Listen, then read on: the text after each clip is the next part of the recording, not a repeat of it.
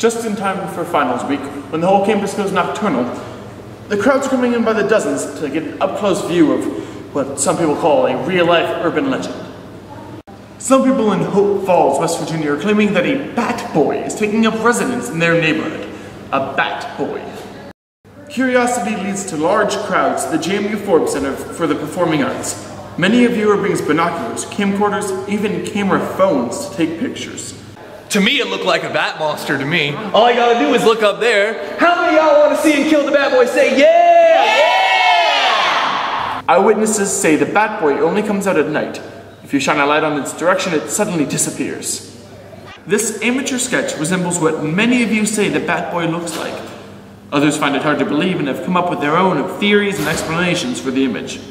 My theory is it's casting a shadow from the balcony up there, the, the poles or something. You know, there's there's a theory called uh, refraction, and it's like it's.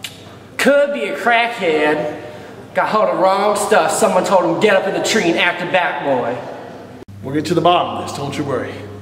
Hey, hey, you just keep going. No, nothing to see here, sir. Keep going. This guy, hoping to direct traffic, says he's prepared for his encounter with the Bat Boy. He's suited up from head to toe.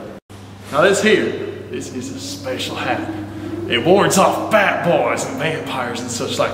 Passed down to me from my great, great, great, great grandfather. He's a vampire hunter.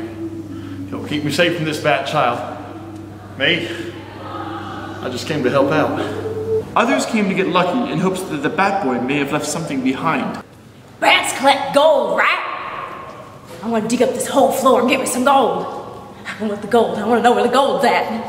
Get the gold. Give me the gold, man. Give me the gold. I want the gold. gold, gold, gold. I want the gold. I want the gold. I want the gold. You know what I liked is that amateur sketch with the Boy, like someone actually got a glimpse of it himself. I guess I'll just have to see for myself on this one.